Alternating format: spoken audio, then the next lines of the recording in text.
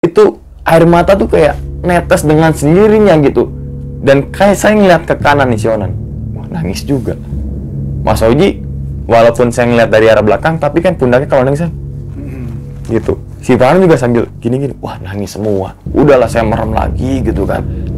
Nggak tahu entah kenapa di kanan kuping saya seperti ada pes kayak apa ya angin atau ada kayak kita mau nampar tapi nggak kena. Terus ada lagi sekitar berapa menit lah setelah suara pertama baru keluar lagi. Bang, kata si Farhan nih itu mau biasa emang siapa? Pramugari.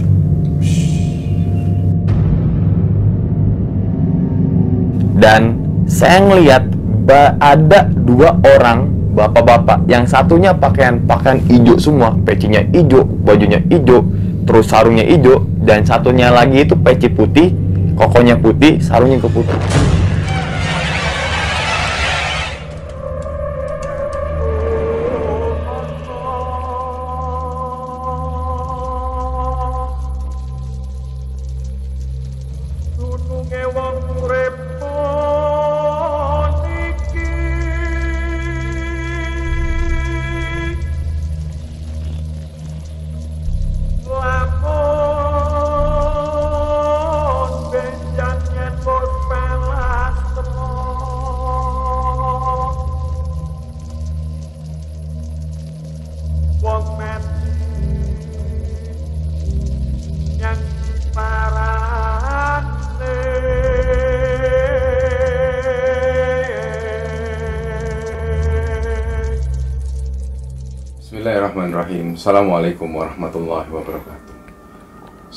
Sunyi di mana pun berada Pada kesempatan kali ini Alhamdulillah kita kedatangan seorang tamu dari jauh Yang pasti teman-teman semua pasti sudah tahu siapa yang ada di samping saya ini Mang Sumar Adiwijaya Iya. Apa kabar Mang? Alhamdulillah Mohon masih batin ya. tang iya mohon maaf lahir batin juga Nah, jadi kali ini ketika Umang datang ke sini suatu kejutan bagi kami juga karena kita terakhir ketemu kapan ya, Mang? tahun lalu mas Di Dua, Jakarta. iya Jakarta 2021 Udah lama banget. udah lama banget mas itu Nah, jadi pas kebetulan kamu ke sini, Mang, Nggih. kami sengaja mau uh, tanya-tanya atau mungkin kami paksa kamu untuk cerita, Mang. siap jadi uh, kita cerita-cerita dulu aja. Kemarin kan Mm-mm. sempat ngabari tuh ya nggih eh, teman-teman mau naik ke Arjuna via Purwosari. Iya. Cerita sedikit dong ke Purwosari gimana maksudnya? Mungkin ada satu pengalaman yang unik tentang treknya atau apanya gitu. Gimana? mungkin kalau aku lebih ke tracknya mas ya jadi kalau menurut aku yang ya dari pos 1 pos 5 mah kan banyak banyak situs mas ya situs-situs dari da- leluhur kita gitu tapi kalau dari segi trekkingnya yang menurut aku itu kayak pendakian Gunung Arjuna via Purwosari itu pendakian terlama aku mas. Untuk sampai puncaknya. Soalnya kan aku dari Makutaromo pos 5 sampai akhirnya ke puncak itu kan membutuhkan waktu sekitar 7 jam. Turun lagi itu kan tiga jam 10 jam pulang pergi ke tempat kami itu. Men- menurut aku tuh ini kayaknya eh, ini kayaknya terpanjang untuk ke summit deh ke puncak deh. Iya mas. Bener dah. Ya memang anu banyak yang bilang mang kalau ke Arjuna itu dari berbagai jalur, misalnya Purwosari, Tretes dan lain sebagainya itu memang treknya kayak gitu. oh. Dulu yang kalau aku ingat eh, teman-teman juga ngalamin gitu. Kadang-kadang yang waktu di eh, jalur Purwosari kita itu bisa ngeliat puncak tapi kok nggak nyampe nyampe iya gitu ya? iya. Betul betul betul. Berarti ngalamin itu juga ya? Kelamin itu juga. Tapi alhamdulillah akhirnya bisa turun dengan selamat dan bisa tahu kan iya betul sekali betul mas. jalur di Jawa Timur. Jawa Timur. Ya. Oke mang eh, katanya ada cerita waktu Oke. eh, Umang pernah naik ke Gunung Salak kan iya betul mas itu kita bagikan di sini gimana? boleh mas boleh banget boleh banget Itu tahun berapa sih, Mang? Katanya baru-baru aja. sebelum puasa jadi pas aku turun itu sidang isbat tuh mas penentuan Kemarin, puasa betul kemarin. betul Berarti baru masih hangat, masih, masih hangat. hangat banget masih hangat banget Itu sama siapa aja, Mang? Jadi aku itu berdua, tiga, bertujuh mas. Bertujuh. bertujuh termasuk sama orang Purwokerto dan juga sama orang Bogor. Jadi kita total bertujuh. Nah, jadi mau mulai langsung atau gimana mas? Mulai langsung aja. Mulai langsung aja mas ya. Jadi mungkin dari awal dulu mas ya, awal perjalanan kali ya. Eh, ini kan eh, subscriber Kembaran Sunyi ini juga Iya. Beberapa juga ada yang nonton channelmu. Oh, Sunyi, saya nggih. Pasti udah tahu. Nah, Oke. mungkin ada yang belum pernah nonton channel Sumar Adi Wijaya bisa langsung subscribe. Ini juga eh, sahabat kami juga, teman pendakian juga ya, Mang ya. Ya mas. Jadi yuk kita saling dukung untuk sobat Kembara yang belum subscribe di channel Sumar Adi Wijaya, jangan lupa langsung subscribe. Oke, Mang, kita langsung mulai, Mang. Langsung mulai mas ya. Nah, jadi di sini mas saya akan menceritakan pengalaman saya mas ya, khususnya dalam mendaki Gunung Salak. Tepatnya itu tiga hari sebelum puasa. Jadi pas aku turun tuh ya penentuan sidang isbat untuk penentuan puasa. Nah, pada saat itu kita kabar-kabar nih mas, Alma sama orang Purwokerto dua orang, nama Mas Oji dan juga Mas Sahrul. Nah, sama si eh, Farhan dan juga si Njun, itu orang Bogor. Jadi pas hari, saya lupa hari apa, pokoknya hari weekend, ah, weekday, saya jemput Mas Oji dulu, yang orang Purwokerto ini, ke stasiun Pasar Senen. Jadi setibanya Mas Oji dan juga si Sahrul ini sampai di stasiun Purwokerto, baru saya jemput dan langsung saya bergerak ke rumahnya si Farhan yang berada di Bogor. Karena kan rumahnya Farhan yang di Bogor ke Gunung Salak itu dekat. Jadi saat malam itu kita istirahat dulu mas di rumah si Farhan.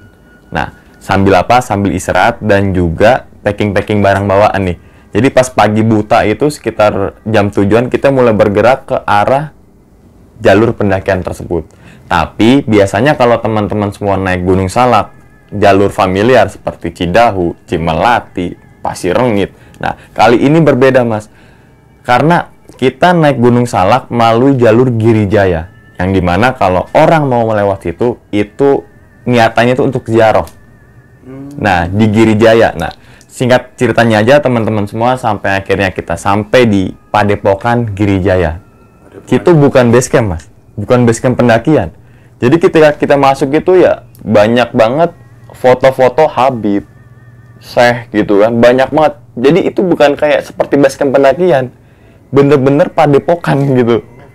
Iya. Nah, di situ nggak jauh dari apa namanya? Oh ya, sebelumnya kita ngurus simaksi dulu, Mas. Bukan simaksi, perizinan. Perizinnya ini ke Kuncen daripada petilasan Eyang Santri.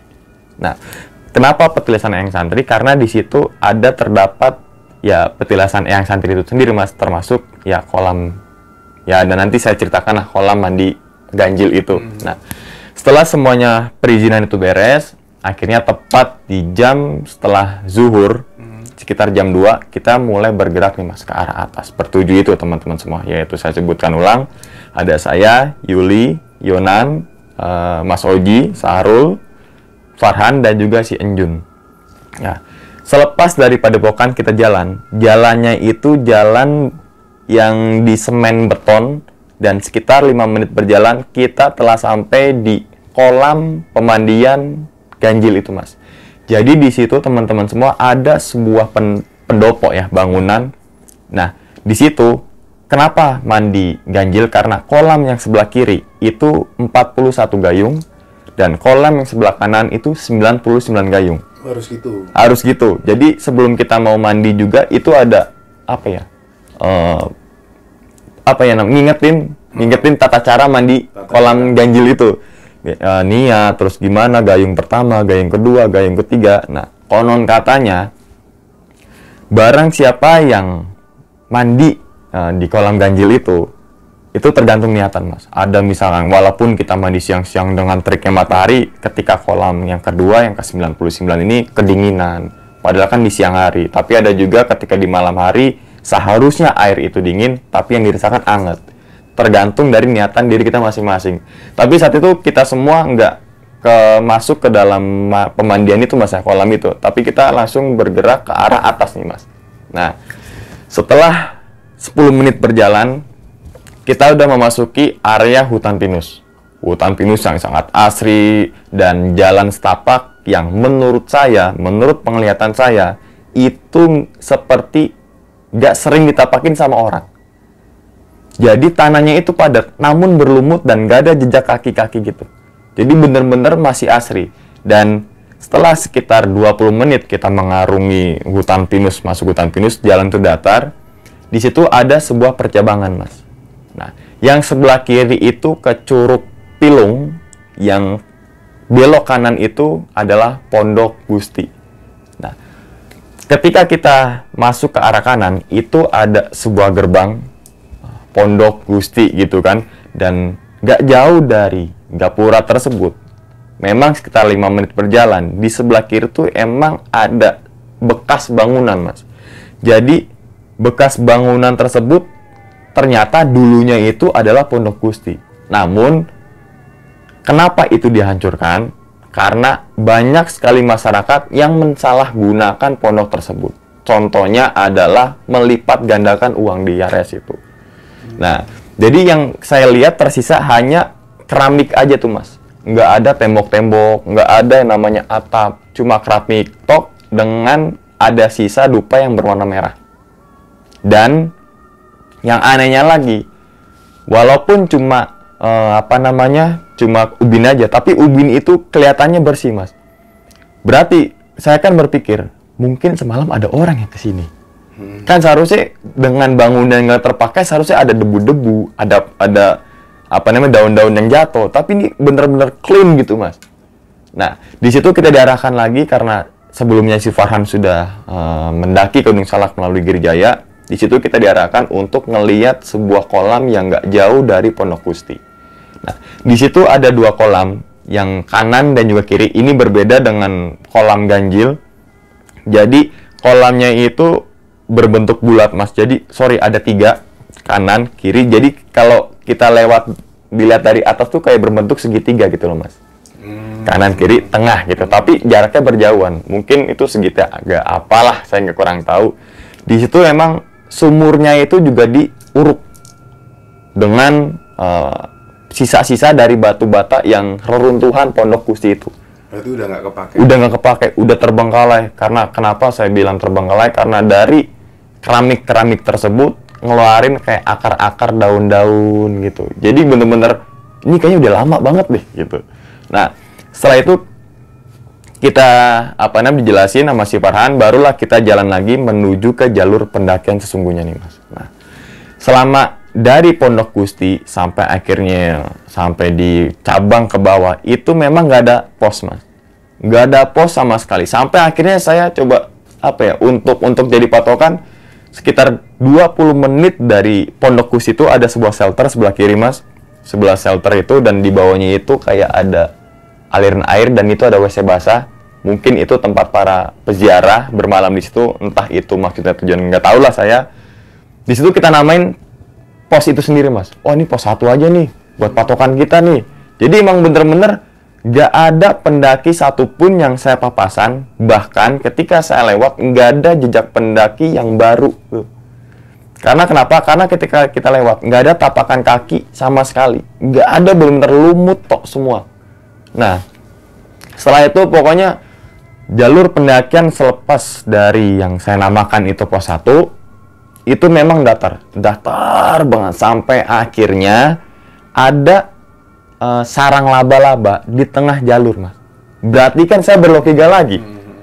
Ini kok ada laba-laba di tengah jalur, ja- eh, apa sih sarang laba-labanya? Berarti kan nggak ada sama sekali orang yang lewat sini Betul, betul. gitu kan seharusnya misalkan ada orang lalang ya lama salah balaba di tengah jalur gitu kan nah pokoknya kalau saya mindset kan kalau naik eh, ke Gunung Salak melalui jalur Girijaya seperti saya flashback ketika Diksar dulu tuh mas jalur tuh rapet banget bener-bener rapet dan sampai akhirnya waktu memasuki waktu asar nih mas waktu asar itu ada dua cabang kanan kirinya itu sama-sama ketutup dengan pohon jadi jalurnya itu nggak padat. Ini udah mulai gambus lah mas.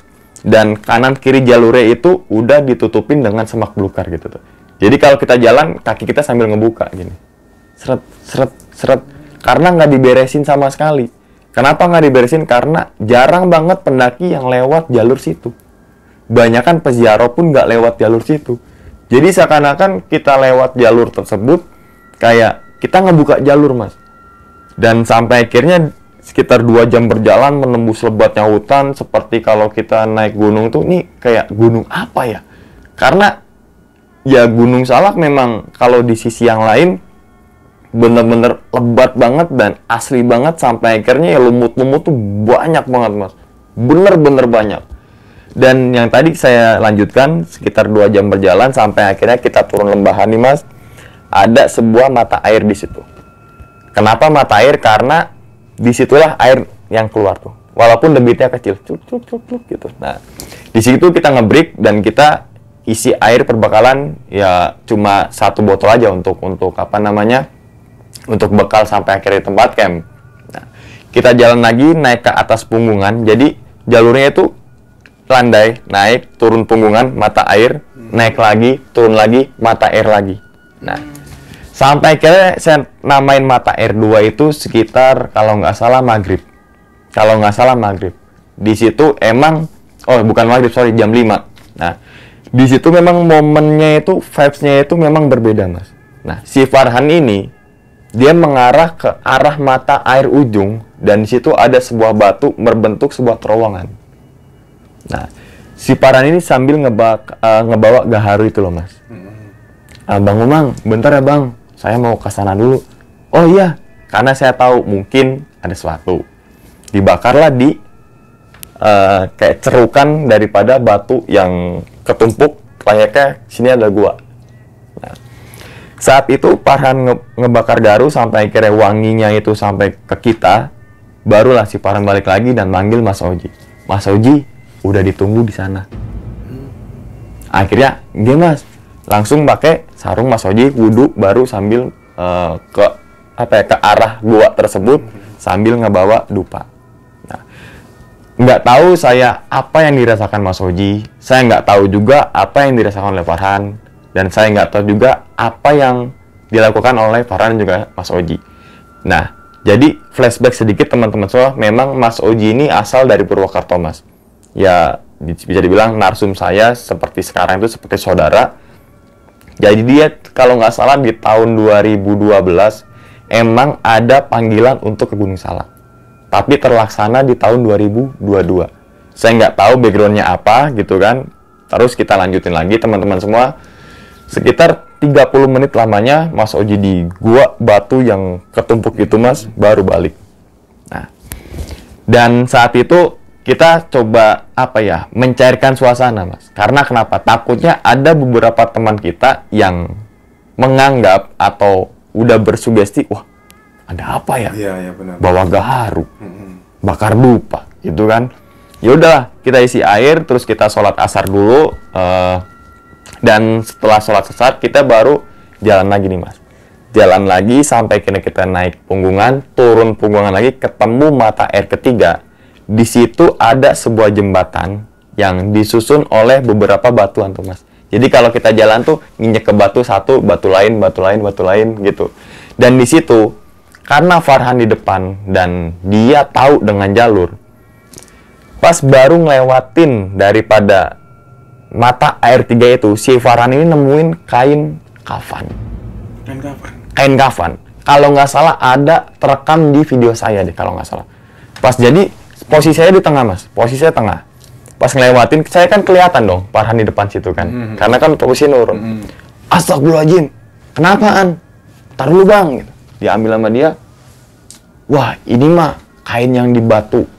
Petilasan itu bang. Ya udah bawa aja bawa aja kata Mas. Uji. akhirnya dibawa tuh jadi kain kain nori mungkin kain kafan gitu di apa ya bentukannya tuh nggak nggak lebar seperti seperti ikat kepala gitu mas jadi nggak terlalu ya tapi dipenuhi dengan tanah liat tanah liat Ada bekas-bekas tanah. ada bekas tanahnya. Akhirnya masih Farhan itu dibawa. Taruh di yang saku kecil beli ransel. Nah, jadi kenapa sih Farhan ngambil kain kafan ini? Karena nanti ketika kita ziarah ke petilasan yang santri, nanti petil eh, kain kafan itu akan ditaruh lagi di situ. Oke. Nah, di situ saya mikir, apa jangan-jangan ada orang yang sengaja ngambil kain kafan itu dan jatuh gitu loh. Karena nggak mungkin mas, kain kafan itu cuma ada di petilasan yang nanti kita ngeken itu. di sepanjang jalan tuh nggak ada nggak ada namanya batu yang ditutup yang dililitkan kafan nggak ada sama sekali nah sampai akhirnya kita pertemuan jalur saya lupa jalurnya yang pertemuan jalur mana kita ketemu di gardu 2 gardu 2 itu kayak eh, batu pipih mas. Batu pipih yang seperti batu nisan tapi sangat tipis. Di situ ada bacanya assalamualaikum warahmatullahi wabarakatuh. Sebelah kanannya jaga adab tingkah laku dan lain sebagainya.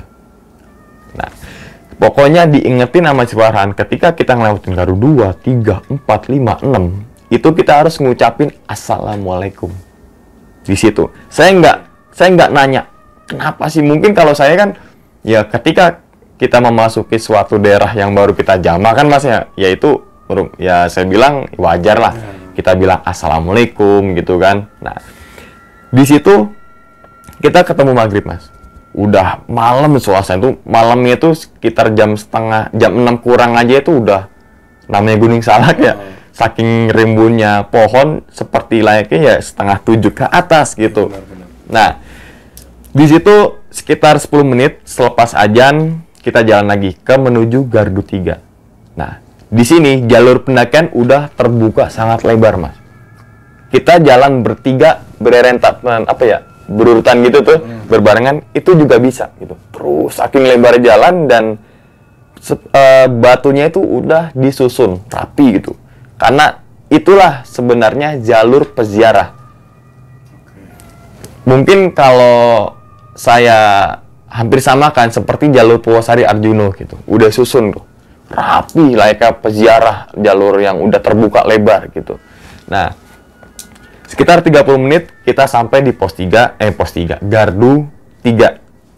Sama, gardu 3 itu kanan kirinya ada sebuah batu yang pipi seperti batu nisan, yang sebelah kiri Assalamualaikum warahmatullah, yang kanannya itu bacaan gardu 4, dan, eh, gardu 3 dan juga beberapa peraturan gitu.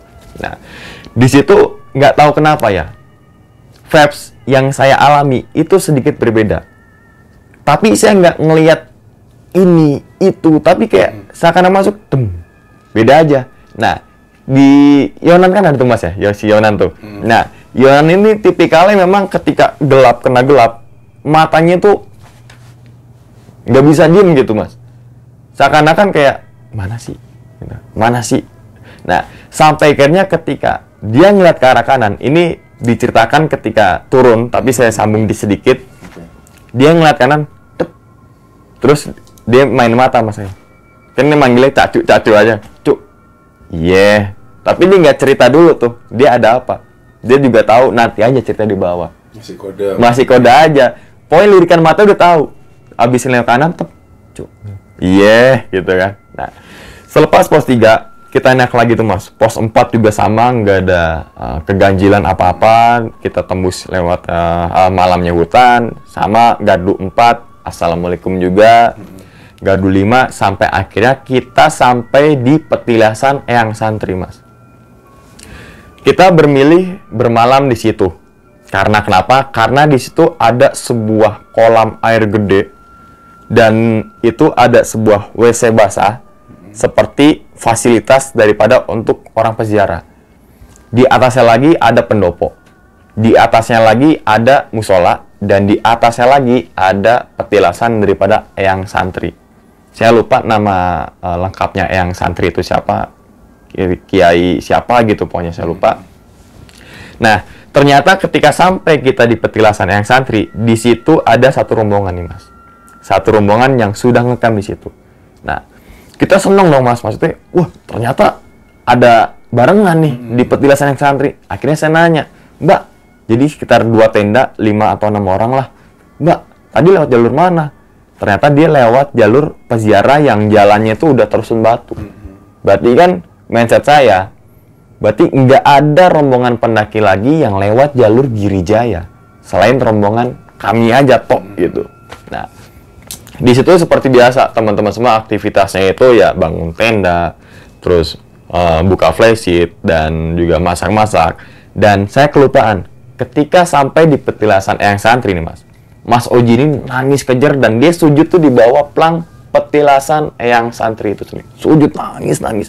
Nah, mungkin menurut saya itu suatu kayak hajat yang sudah terkabulkan, Mas. Masalahnya bertahun-tahun dia tuh baru kesampaian naik Gunung Salak di tahun 2022. Nah, akhirnya saya peluk Mas Oji. Mas Oji, eh, apa namanya? Selamat ya Mas ya. Ternyata di tahun 2022 ini hajatnya baru bisa dikabulkan. Memang dia itu eh, yang tadi saya jelaskan sebelum ke Gunung Salak juga memang dia sudah dimimpikan seperti ada panggilan. Saya nggak tahu lah masalah itu. Karena ya Mas Oji dan Farhan yang masalah tahu itu. Ini kan saya menceritakan berdasarkan sudut pandang saya dan apa yang saya alami. Nah, setelah itu sekitar jam 8-an kita makan-makan, masak-masak dan di jam 9 ini si Yuli tidur. Si Mas Sahrul itu tidur dan si Enjun ini tidur. Sisa berempat nih Mas. Saya, Yonan, Mas Oji dan juga si Farhan. Nah, saat itu baru tuh si Farhan. Bang Bang, ayo udah siap. Oh iya ayo. Langsung saya ganti sarung, Mas. Ganti sarung dan si Yonan juga ganti. Pokoknya pakai sarung semua. Si Oji dan juga si Farhan itu pakai baju koko, sedangkan saya lupa bawa. Kita wudhu dulu nih, Mas. Di bak mandi dengan banyak keran-keran-keran gitu loh. Nah, kenapa? Kenapa kok Farhan Bang Umang siap? Itu emang niatan kita tuh untuk ziarah ke petilasan yang santri. Emang itikat atau niat kita naik Gunung Salak itu bukan untuk naik Gunung Salak tapi ziarah, ziarah gitu kan. Nah, selepas kita wudhu, di situ di apa ya pondokan atau mungkin shelter tempat orang ziarah itu mas, itu nggak ada orang sama sekali, nggak ada orang dan kita ngelewatin eh, pondokan tersebut di depannya baru ada musola, keadaannya sepi gelap, barulah kita naik ke sebuah jalan. Jadi jalannya itu tangga, tapi kanannya ini kayak tanah yang berbentuk tembok gitu. Jadi seakan-akan kita masuk lorong, jalan, barulah baru banget di atas sekitar 20 langkah. Nah, di situ ada sebuah bangunan dan bangunan itu baru, Mas. Di situ baru ada namanya petilasan Eyang Santri. Mungkin teman-teman bayanginnya seperti kayak musola di desa-desa tuh, Mas. Seperti satu ruangan dan di atas itu ada pundak-pundakan, baru ada tiang. Nah, di situ si Farhan eh, ngebuka dulu pintu, Mas. Ngebuka baru lah. Bang Umang, Bang Oji, Mas Yonan, ayo masuk. Baru kita masuk. Nah, si Farhan langsung ngebakar gaharu. Mas Oji langsung ngebakar dupa. Sedangkan saya bebersih di dalam area petilasan yang santri itu. Karena kenapa? Karena di dalam itu banyak dedaunan-dedaunan kering, Mas. Yang masuk daripada rongga-rongga jendela. tuh. Jadi itu ada jendela, tapi di atas itu nggak ada apa ya kacanya. Yang ada kacanya itu bagian bawah. Jadi masuk gitu kan. Saya coba bersihin nama si Yonan, saya kumpulkan dan bakar lilin juga untuk penerangan dan saat itu memang saya bawa eh, lampu buat syuting yang kecil tuh mas yang pakai baterai. Saya taruh pojok. Nah di situ mulailah kita baca bacaan maulid gitu kan dan sebagainya. Ini apa ya? Menurut saya seperti ada yang ngawasin dari beberapa berbagai sudut jendela tuh mas. Jadi jendelanya itu ketika ngelihat kanan itu emang udah kelihatan pohon yang sebelahnya tuh. Tembus gitu kacanya. Kiri juga tembus walaupun gelap. Tapi kan saya ada bawa apa namanya lampu yang dari syuting itu kan mas? Ya. yang lumayan terang gitu kan. Memang saat itu kata si Farhan Mas Umang dimatin aja. Tapi saya bing saya bilangnya jangan kasihan si Yonan karena dia emang takutan mas. Takut dengan gelap gitu.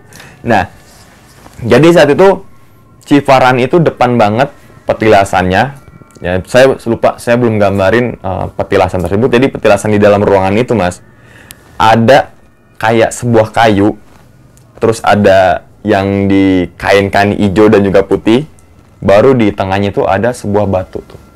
Dan batunya tersebut dililit dengan kain kain putih itulah. Nah Farhan depan udah mulai baca bacaan maulid si Oji itu di belakangnya Farhan sedangkan saya di agak mundur Yonan di samping saya. Nah saat itu kita ngucapin ka- beberapa kalimat ya syahadat atau lain sebagainya lah mas ya. Terus sampai akhirnya si Farhan ini seperti membacakan doa dan kami kan cuma ya amin amin ya Allah amin ya Allah. Nah saya itu merem mas. Saya ini merem. Nah, ketika merem kan posisi saya kan tahu Yonan kan di samping di samping kanan saya itu pokoknya semua berempat-empatan nangis di gelapnya malam di tengah hutan di jam 12 malam. Di area petilasan Eyang Santri itu sendiri. Jadi nggak tahu kenapa ya mas? Ah, merinding tuh. Jadi nggak tahu kenapa mas ya? Ketika saya baru bukan baru berziarah tapi pernah berziarah tapi kan nggak di hutan banget dan nggak malam banget itu air mata tuh kayak netes dengan sendirinya gitu. Dan kayak saya ngeliat ke kanan nih si Onan. Wah nangis juga. Mas Oji walaupun saya ngeliat dari arah belakang tapi kan pundaknya kalau nangis kan? Gitu. Si Farhan juga sambil gini-gini wah nangis semua. Udahlah saya merem lagi gitu kan. Nggak tahu entah kenapa di kanan kuping saya seperti ada pes kayak apa ya? Angin atau ada kayak kita mau nampar tapi nggak kena. Gitu loh mas. Jadi kan ada ke bawah angin tuh. Ya saya nggak mau nengok ke belakang. Nanti saya ulas apa sih yang angin itu nanti saya ulas di bawah tuh sama si Mas Oji itu. Nah, ini ada suatu kejadian lucu menurut saya nih mas. Jadi ketika saya merem nangis nangis gitu kan saya kan nggak ngeliat depan dan juga kanan kiri kan. Saya terus saja baca baca doa. Saya melek dong. Teng. Loh Yunan nggak ada. Ternyata dia merapatin barisan ke depan tuh mas. Taunya dia tuh ketakutan. Jadi posisi saya itu saat itu di paling belakang tuh. Nah, saya merem lagi, dia malah malah makin minggir ke saya tuh. Tek gitu, nempelin apa nih pahanya tuh gini. Nah, saya mau ketawa tapi tempat sakral gitu kan. Di sisi lain juga kita lagi doa. Di sisi lain lagi lihat tingkah Yonan yang kayak gitu gitu kan. Nah, nanti juga saya jelaskan juga Yonan ngalamin apa, Farhan ngalamin apa, dan juga Oji ngalamin apa saat turun nanti. Nah, ketika kita udah baca bacaan maulid, si Farhan ini dia ngearah belakang petilasan nih mas. Yang tadi saya jelaskan tuh mas, ada sebuah kayu yang berbagai kain berwarna hijau tuh ngamble-ngamble gitu kan. Si Farhan ke belakang. Nggak tahu saya si Farhan ngapain, pokoknya sekitar 10 menit dia baru balik lagi. "Ah, mas Oji, udah ditunggu. Saya kan, ya saya nggak tahu sama sekali. Akhirnya Oji tuh ke arah belakang petilasan itu mas kayak masuk ke dalam kain hijau itu loh srek gitu sekitar lima menit nggak tahu Oji itu ngapain terdengar suara tangisan dari Oji mas. Sambil kayak pokoknya nangisnya tuh bener-bener terharu bener-bener kayak ketika kita ketemu dengan orang tua yang merantau bertahun-tahun nangisnya tuh bener-bener kayak mendak Melepas kerinduan. melipas kerinduan gitu kan. Itu lama mas. Saya sampai gabut tuh sama si Yonan sama sama si Farhan. Mas boleh rokok nggak apa-apa kan mas? Nggak apa-apa mas kan kita udah selesai. Tapi kita masih dalam ruangan tersebut tuh belum keluar nah, saya ngerokok aja sambil satu batang itu rokok habis baru mas Oji nyamperin kita dengan eh, mata yang lebam dengan apa namanya bekas-bekas asma- air mata gitu kan. Mas Oji udah udah Mas Umang. Makasih A. Jadi si Oji ini eh, manggil Farhan itu A. Makasih A gitu. Nah setelah itu niat saya podcast di area petilasan itu mas. Niat saya di dalam petilasan. Tapi berhubung vibes-nya juga lu- sangat luar biasa dan juga udah mendekati jam 1 dan takutnya misalkan saya podcast di petilasan itu nanti ada kega apa ya kekhawatiran teman-teman semua "Oh, kok tempat begituan diajak podcast? Gini gini gini.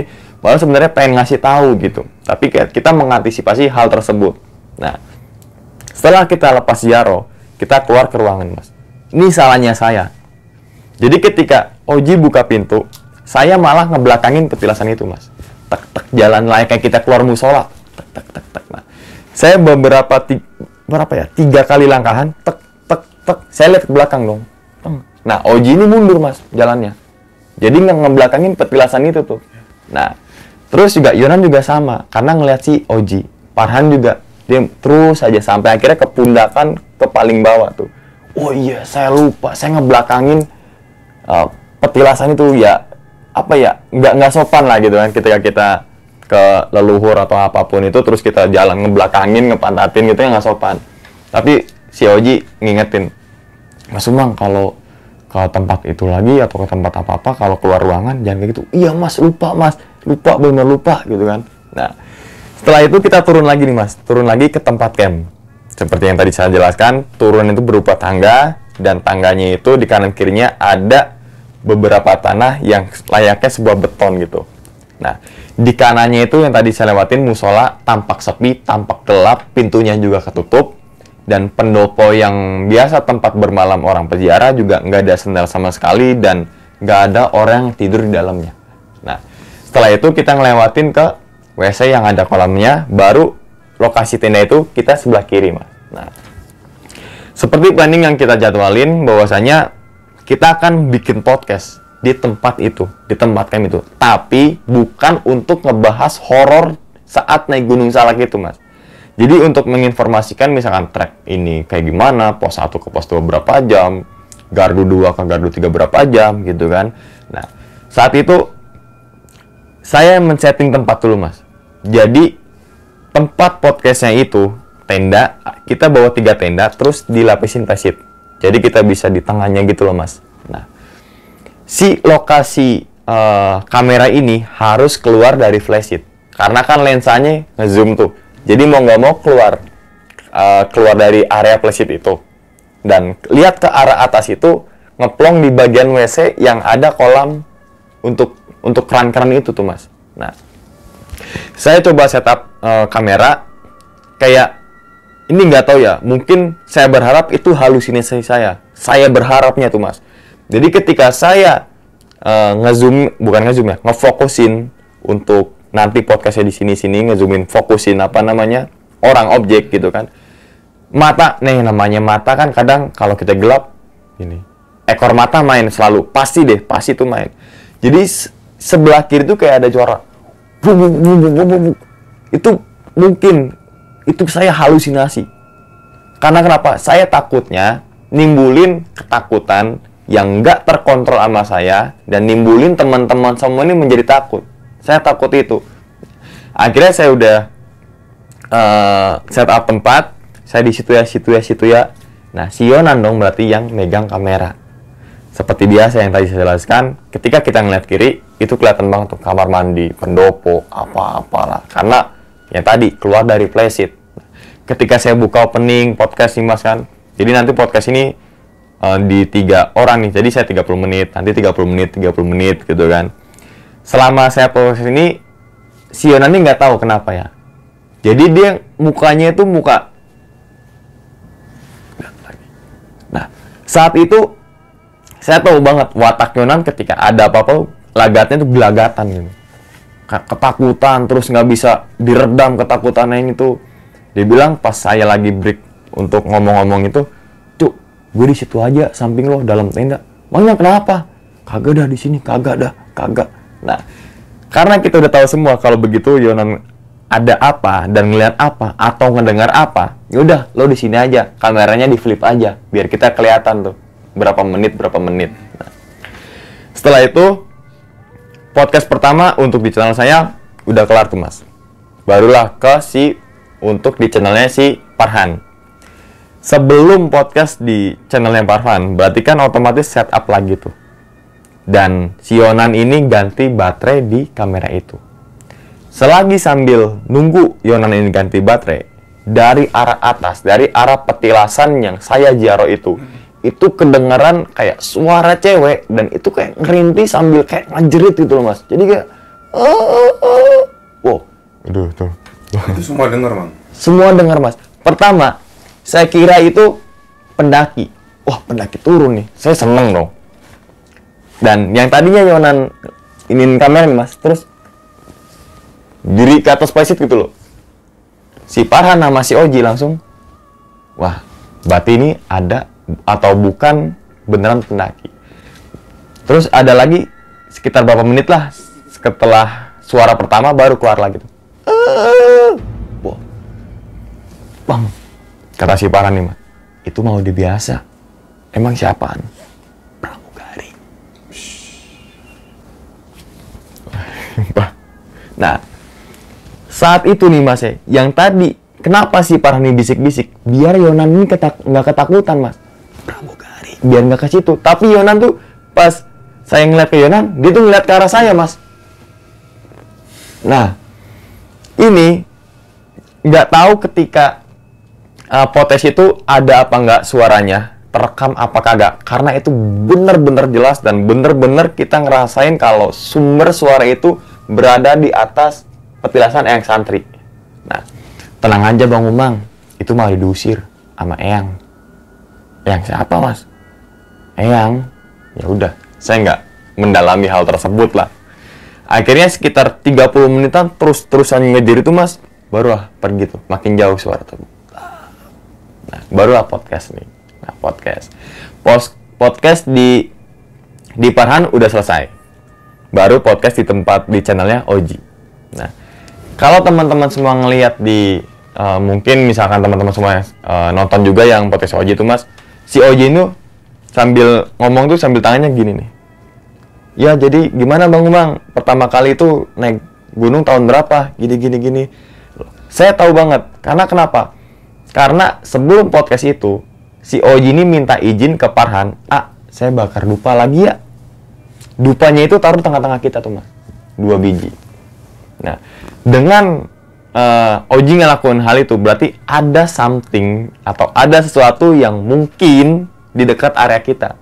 Nah, setelah itu pokoknya nggak tahu apa yang dilakukan Mas Oji, pokoknya kayak gini kayak gini aja, tapi sambil ngobrol tuh, gini aja. Nah, ini na- mungkin nanti akan saya kulas ketika uh, turun nanti tuh Mas. Nah, pokoknya setelah podcast kelar itu, barulah kita tidur.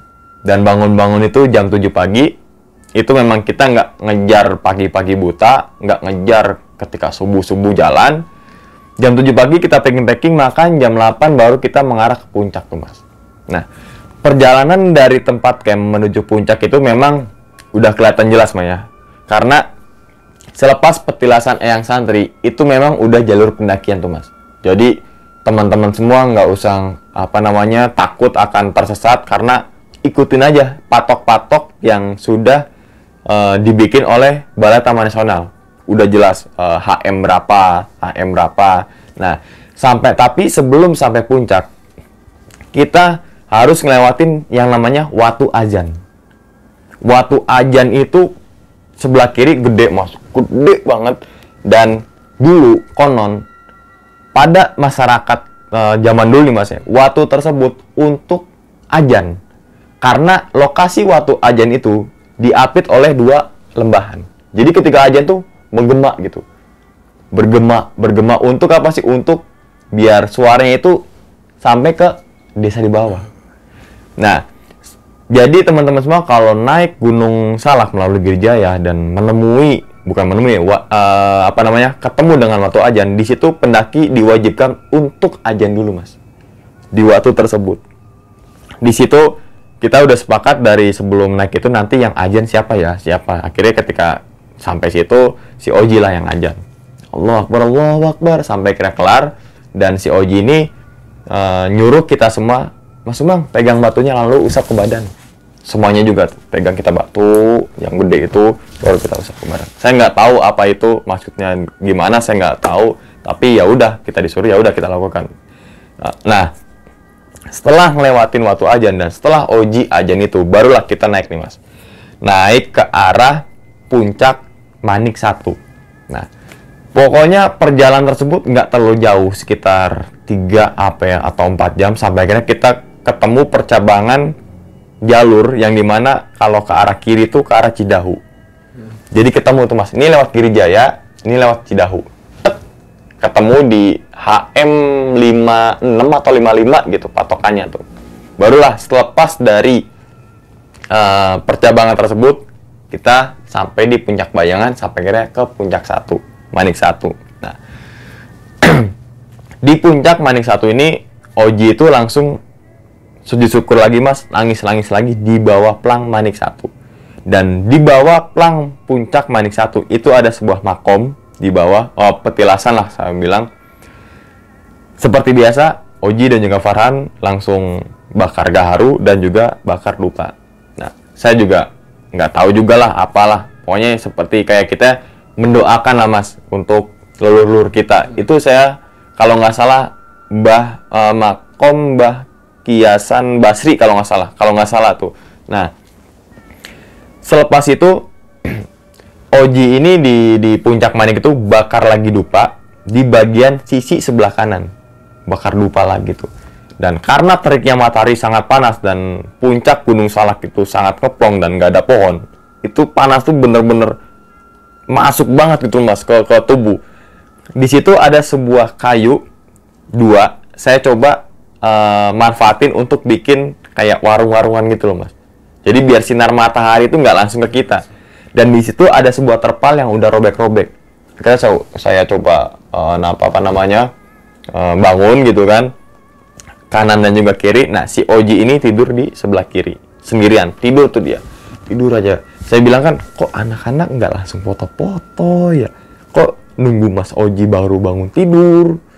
Ayo foto-foto. Tar dulu Mas, Mas Oji masih tidur. Kan foto ya tinggal foto. Nanti kan ya sama Oji nanti ketika Oji ini udah bangun gitu kan. Nah, ternyata oh ternyata ketika bangun si Oji ini kayak apa namanya eh masuk ke yang terpal yang kedua itu loh mas. Kan kan gitu tuh. Masuk ke situ. Langsung apa namanya minum air. Tapi dia pandangannya itu kayak ya ya udah ngelihat puncak tuh kayak bukan ngelihat puncak. Gimana sih mas? Kayak kita ngelihat orang. Tapi kayak kita bukan ngelihat orang kayak gitulah pokoknya. Nah di situ saya nerbangin drone dulu tuh mas. Terbangin drone gitu kan. Nah nanti saya jelasin kenapa saya nerbangin drone dan ada apa ketika saya nerbangin drone. Nah setelah itu kita turun lagi nih mas. Nah saat di jam 1 siang kita turun kita ini terpecah rombongan. Saya, Yuli, Enjun, dan juga Yonan ini duluan. Sedangkan si Parhan, Sahrul, dan juga si Oji ini terakhir. Karena dia sebelum turun, dia mau mendoakan dulu leluhur di situ. Yang di makom yang di puncak itu. Nah, saya lupa kalau di depan itu ada percabangan dan sudah saya tandain dengan bungkus makanan. Jadi ada percabangan, berarti kan kalau turun kan ada yang lurus, ada yang kiri, Mas. Yang lurus itu kan Cidahu, yang kiri itu ke Girijaya. Di tengahnya saya tancapin kayu dan di atas ujung kayu itu saya kasih bungkus makanan untuk sebagai petanda. Yang nantinya ketika saya lewatin saya ambil lagi tuh bungkus makanan. Kalau tinggal kan nyampah Mas gitu kan. Nah, posisi saat itu Enjun di depan. Terus si Yonan, Yuli baru saya sambil ngoplok tuh. Wah kita teman-teman semua kita jam satu siang nih baru turun dari puncak gitu kan dan perjalanan ini sangat melelahkan gitu layaknya kita ngasih tahu lah mas ke temen yang ngevlog lah nah, kok ketika saya matiin kok jalannya itu makin curam ya tapi saya uh, pikiran saya oh belum ngelewatin itu kok. Yang Yang tadi tanda. yang tadi tanda itu. Nah, sampai akhirnya di depan itu ada patok HM 40 berapa gitu. Loh sedangkan kan kita ketemu cabangan itu di HM 50-an berarti kan kita udah salah jalan ke arah Cidahu. Kenapa saya nggak kayak gitu? Karena si Yonan ini tar dulu deh tar dulu deh. Kayaknya kita salah jalan deh. Salah jalan maksudnya tuh lihat HM berapa tuh ngomong kurang di pohon oh iya 40-an mau nggak mau kita naik lagi mas jadi bukan jadi kita apa ya ceroboh nggak ngelihat patok tersebut yang saya tandain itu. Oke kita naik lagi gitu kan, dan saya kan eh, pikirannya, oh mungkin si Oji, Parhan dan juga Sarul masih di belakang. Sampai ketemu cabangan lagi, baru kita sikat ke arah kiri tuh mas. Formasi diubah. Yang tadinya Enjun depan, Yonan tuh depan. Saya suruh, wah lo depan. Iya mang, ikutin aja udah. Dari situ saya udah nggak ngevlog tuh mas, saya udah fokus ke pendakian tuh. Sampai kira kita ketemu di Watu Ajan dan jadi kalau dari atas itu Mas ya. Kita nurunin sebuah jalanan gini, terus agak belok ke kanan. Di sini Watu Ajan nih. Jadi kayak kita munterin gitu loh tuh. Nah, di situ nggak tahu kenapa kayak vibes-nya itu yang saya alami itu kayak beda dan kayak kita tuh kayak apa ya? Kayak ada sesuatu yang kalau kita lewat situ harus gitu loh. Saya nggak tahu spontanitas saja saya giniin. Nah, setelah itu sekitar eh, satu jam berjalan, saya kan sambil manggil-manggil. Takutnya si Oji, Parhan dan juga Sarul udah duluan. Ji, An, gitu kan. Rul, nggak nyaut. Nggak nyaut kan berarti dia paling masih di atas dong. Tapi ternyata, oh ternyata ketika mau sampai di area petilasan, yang petilasan kita bermalam itu mas, dari arah kanan tuh karena Yonan depan kosong kosong kosong kosong. Ternyata Farhan mau nyusulin kita mas. Ternyata Farhan Oji dan juga si Sarul itu udah sampai duluan tempat camp.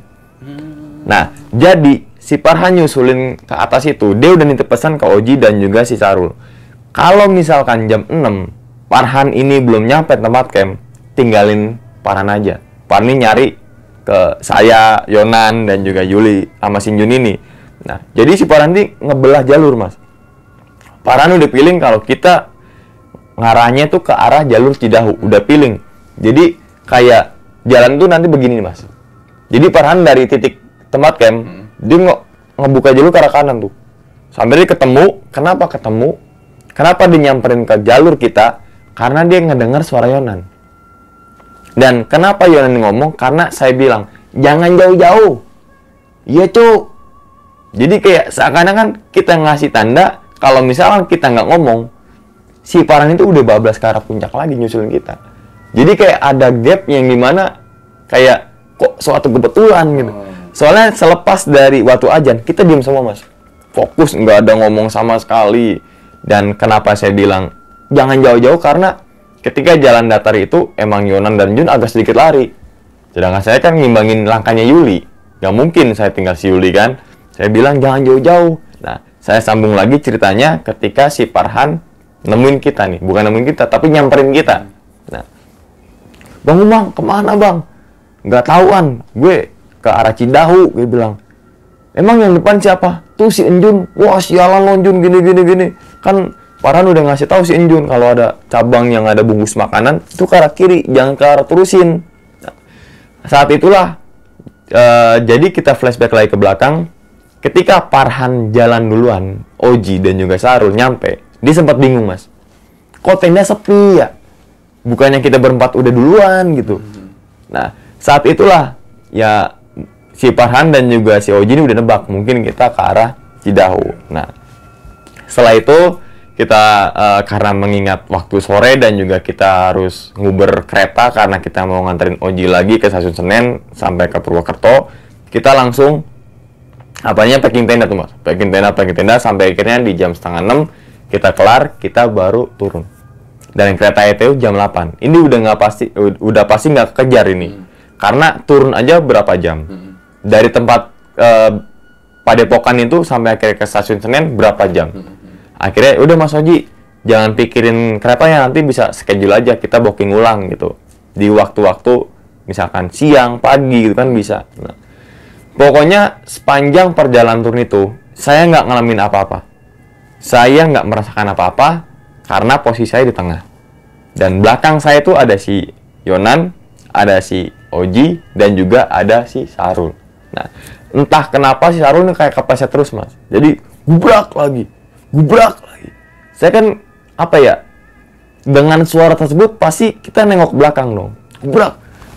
Sarul kok, apa namanya, kepleset lagi, kepleset lagi. Nah, nanti jawabannya ada ketika di bawah tuh. Si Sarul kenapa kepleset terus. Sampainya kita ketemu lagi di tempat mata air tiga yang si Farhan nemuin sebuah kain kapan. Di situ kita istirahat lagi, tenangin diri karena trek yang ekstrim itu sebenarnya dari mata air tiga ke Padepokan Girijaya itu. Karena kan setelah mata air tiga baru kita ketemu Gardu 2 yang udah kelihatan jelas. Nah, pokoknya dalam perjalanan turun itu diguyur hujan, masih ada videonya, kita pakai jas hujan, jalurnya licin, ketutup, rapet. Pokoknya itu kayak kalau saya flashback kayak lokasi diksar gitu loh mas. Jadi kalau kita jalan, ketika udah yang lewatin, yang depan ini harus nyanter ke belakang mas, bantuin. Jalan lagi, itu namanya tuh mas. Lewat satu, bantuin belakang. Udah belakang lewat satu, bantuin belakang lagi, belakang lagi, belakang lagi. Nah, singkat ceritanya, sesampainya di Padepokan lagi nih mas ya, karena selama perjalanan itu nggak ngalamin apa-apa. Di jam 10-an, jam 9-an, kita sampailah di warung seberangnya Padepokan tuh mas. Saya buka HP sambil ngeliat kapan nih eh, awal mu awal di apa namanya mulainya puasa. Jadi sambil nunggu sidang isbat tuh mas, wah kapan ya kapan ya. Saya berharap kan besok Sabtu. Wah, wah Muhammadiyah Sabtu, saya udah feeling. Wah, eh, NU makanya Minggu nih. Sampai kira diumumin kan itu pe- pengumuman puasa tuh jatuh pak satu apa namanya Ramadan di jatuh pada hari Minggu wah ya udahlah mau nggak mau kan ya udah emang udah pen- apa namanya eh, penentuannya nah setelah dari warung itu kita bebersih baru kita masuk ke padepokan. Karena apa? Kita takutnya ketika kita badan kotor masuk padepokan kan takutnya ngotorin tempat padepokan tersebut. Nah. Setelah itu kita apa namanya packing packing dan baru turun nih mas. Nah jadi sepanjang mobil itu mas kita baru cerita cerita tuh. baru cerita tuh. Pokoknya selepas ninggalin padepokan itu turun teng. Lo ngerasain apaan sih? Udah langsung bilang gitu mas sebenarnya kan bisa diomongin di padepokan. Tapi nggak tahu kenapa tuh keluar tuh lo jadi pas lo tuh ngomong semua tuh lo ngalamin nggak? Nah pokoknya sepanjang perjalanan itu barulah saya nanya ke Yonan karena kenapa? Karena penemuan saya kan. Lo ngapain lo uh, pas di gardu 2 lo ng- uh, manggil gue sambil ngiripin mata? Cuk cuk. Gitu kan. iya le. Ini manggil kalau le cuk gitu kan. Iya le gue ngeliat mata merah mata merah terus berapa matanya ada empat nah jadi apa yang dilihat sama Yonan itu apa yang dirasakan atau yang diceritakan oleh si Farhan jadi Farhan itu pernah bercerita di channel saya bahwasanya dia dikawal dengan macan dua, yang satu warna hitam dan juga satu warna putih dan mata itu merah.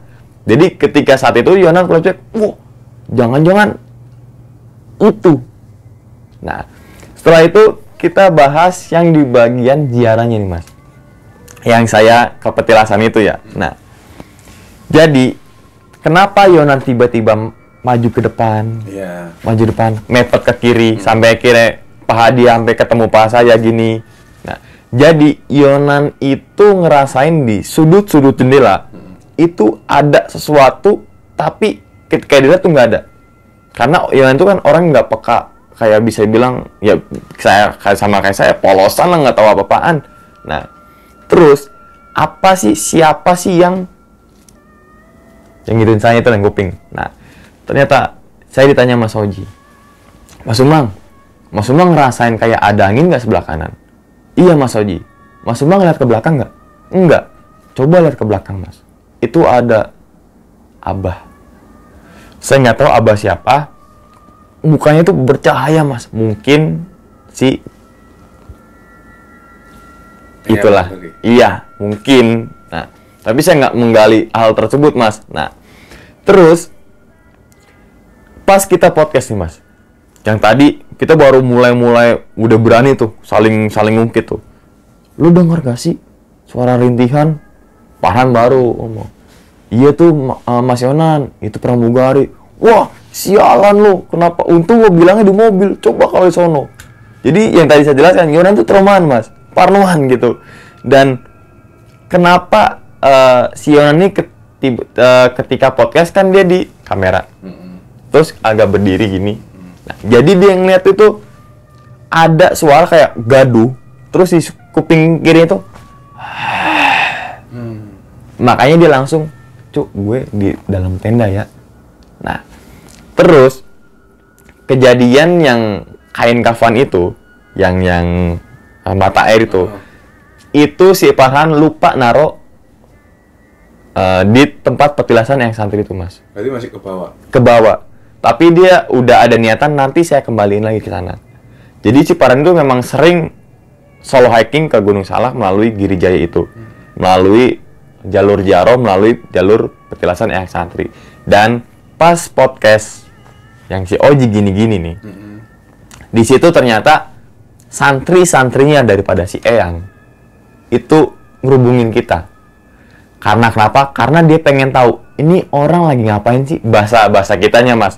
Dan dia juga berterima kasih karena udah kayak mungkin udah mendoakan si apa namanya beliau dan si menurut si Farhan juga pramugari ini diusir sama si Eyang. Menurut penuturan si Farhan ini mas, saya rangkum gitu kan. Nah setelah saya pulang sampai akhirnya pulang udah berselang satu hari tidur kan enak mas. Tidur dong saya saya tidur. Nah saat saya tidur di studio itu mas saya mimpi. Mimpi seperti balik lagi ke petilasan tersebut. Dan saya ngelihat ada dua orang bapak-bapak yang satunya pakaian pakaian hijau semua pecinya hijau bajunya hijau terus sarungnya hijau dan satunya lagi itu peci putih kokonya putih sarungnya ke putih. Nah pas saya eh, saya bangun itu saya nggak tahu kenapa langsung megang. Saya langsung nyari eh, apa namanya HP mas. Saya langsung HP ini langsung bangun ya. Saya langsung ngasih Farhan Bang Farhan ini saya mimpi. Mimpi apa mas Umang? Mimpi ke petilasan itu lagi. Berarti ketemu ya Langsung ngomong gitu ya. ketemu maksudnya Bang Umang ngeliat apa pas mimpi itu? Ya dua orang bapak-bapak, ya mungkin saya bilang sepuh karena perawakannya dan jenggotnya itu. Saya masih ingat banget kok putih semua. Pakaiannya hijau, yang satu hijau, yang satu putih. Iya Mas Umang, itu Eyang. Jadi, aduh merinding lagi. Jadi kalau Farhan naik Gunung Salak, dia selalu pakaian baju kokoh hijau dengan pakaian sarung ada kok videonya kalau Farhan itu ketika masuk petilasan itu pakaian yang hijau. Nah, katanya kata si Farhan eh, apa namanya cucu-cucunya itu udah ke situ mas. Jadi mungkin si Oji ini yang udah hajatnya bertahun-tahun itu ketika sampai nangis-nangis dan juga mungkin si Farhannya. Kita nggak ada yang tahu mas saat itu. Dan setelah itu kita kayak biasa, kayak kalau kita tuh saling bercanda tuh mas. Di, di grup itu ya sebelum grup itu bubarin tuh. Ya eh, bang Yonan lo diliatin lo bang gini-gini. Jadi yang kejadian horor-horor itu nggak tahu ya horor atau misteri ya. Soalnya saya nggak ngeliat penampakan atau apa apa tuh mas. Kayak ini loh apa ya? Ini apa ya? Jadi ketika saya ngalamin kayak tanda tanya. Ngalamin kayak tanda tanya. Dan nanti mungkin Insya Allah saya akan ke sana lagi mas untuk niatan ya ziarah tersebut. Mungkin itu aja sih mas pengalaman saya ketika Gunung Salak. Ya nggak horor-horor banget, tapi kayak diri saya sendiri kayak menjadi teka-teki gitu mas. Atas setiap kejadian sampai akhirnya eh, apa namanya dimimpiin pas baru banget. Dan kata pengakuan Farhan itu eyang. Seperti itu mas Itan. Hmm, Oke oke, banyak pelajaran sih mang dari Iya. cerita itu sebenarnya. Kalau dari sisi horor atau enggak sih tergantung kita juga. Mm-mm. Tapi beberapa kali itu juga merinding juga kan. Hmm. Eh, terus tadi yang sempat nerbangin drone itu Oh iya iya ini Gimana? puncak ya. Heeh. Nah jadi mas saya kan nerbangin drone. hmm, Nah, saya kan ke arah kanan terus maksudnya tuh untuk menjauhi area puncak tuh. Tapi itu drone tuh nggak apa ya nggak mau jalan. Jadi kayak ada limit batas tertentu dan ah, kayak ada limit kalau ini maksimal tuh drone segini. Nah, jaraknya gitu dari lokasi saya. Padahal di pengaturan saya itu jaraknya udah 100 meter. 100 meter dengan kita ngeliat drone pasti udah jauh dong. Ini kayak seperti kayak 10 meter aja, Mbak. Saya dorong lagi tuasnya. Tung gitu. Saya dorong lagi tuasnya. Tung. Itu saya diri itu di tengah-tengah puncak tuh, Mas. Jadi ada plang, saya sambil gini kan. Nah, menurut si Oji ketika turun itu, Bang Umang, tahu gak saya pas tidur tuh ngapain? Mang kenapa Mas Oji? Saya udah dibukain, saya udah digelarin karpet merah. Dan Bang Umang itu ada di atas karpet merah. Loh, saya kan nggak tahu sama sekali Mas. Apa yang, eh, apa ya maksudnya? Gimana ya ngomongnya? Eh, saya nggak tahu kalau sebenarnya saat tidur itu ternyata itu udah ada gelaran karpet merah. Saya nggak tahu di puncak itu tuh. M- Karpet merah bukan karpet gini tapi dalam penglihatan mungkin spiritual gitu kan. Nah, mungkin saat itu drone saya tuh kayak udah lo ngapain nerbangin sih lo kayak mungkin takutnya ketika sorot dari atas oke. mungkin ya mungkin soalnya ketika si Oji diri ayo ayo foto foto foto foto foto. Baru tuh. Hmm, itu dulu nggak jauh langsung. Itu kayak gimana ya? Kok bisa gitu? Kok kayak gini? Padahal yang tadi saya jelaskan saya udah ngatur limitnya 100 meter kejauhannya. Tapi kayak 10 meter aja tekan-tekan tuh nggak mau jauh-jauh. Dan ketika Oji bilang ayo foto-foto ke arah plang teng aja Loh, Baru normal. baru normal kembali mas. Seperti itu mas Terus mang, ketika eh, mimpi yang ketemu Hmm. yang sosok bisa jadi Eyang itu Iya. setelah itu ketemu lagi nggak sempat ketemu lagi nggak sama beliau atau mungkin ada yang bisa kamu tangkap mungkin beliau Nah. pesan sesuatu atau apa Iya. gitu Jadi saya belum menjelaskan kejadian mimpi itu mas ya, lagi ngapain. Nah, jadi saya itu mimpinya berada di area yang ada WC, ada air yang banyak keran-keran keran-keran Oke, gitu. Nah, saya dituntun ke arah petilasan eh, petilasan tersebut. Tapi saya nggak ngelihat pendopo, saya nggak ngelihat musola yang sebelah kiri, tapi langsung ke arah gerbang yang tangga terus rapi itu dan saya diajak masuk ke dalam situ. Jadi seingat saya, seingat saya itu saya berada di paling belakang. Yang kanan ini yang pakaian hijau, yang sebelah kiri pakaiannya putih. Seperti layaknya kita mendoakan gitu, Mas. Nggak ada percakapan sama sekali. Nggak ada percakapan sama sekali. Sampai akhirnya dia berdiri, baru saya berdiri, baru mundurnya kayak layaknya eh yang nggak boleh ngebelakang gitu loh, mas. Teng, teng.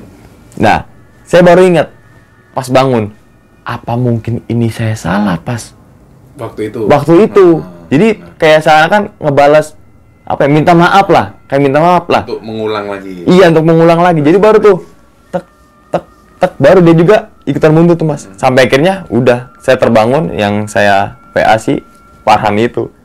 Seperti itu masih tang. ini menarik sebenarnya mang yang sebenarnya untuk adab ya sebenarnya Mm-mm. ketika kita di satu pemakaman atau apa makanya yang di kultur kita di budaya Jawa itu setiap kali ada pemakaman itu kan selalu ada gapura yang agak pendek Mm-mm. itu supaya kita nunduk Nunduk. supaya Iya. kita nunduk kadang Iya.